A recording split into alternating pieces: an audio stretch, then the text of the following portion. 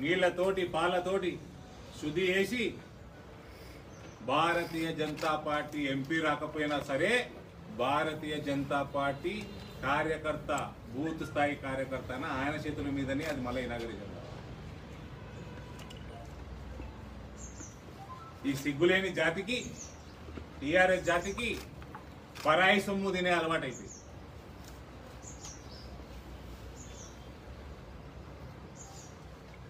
ఇక నాలుగు పెళ్ళిళ్ళు చేసుకోనికే షరియా కావాలి. నాలుగు పెళ్ళిళ్ళు చేసుకోనికే షరియా కావాలి. దొంగతనం చేస్తే చేయి కోసేస్తారు మరి అదే షరియాలో.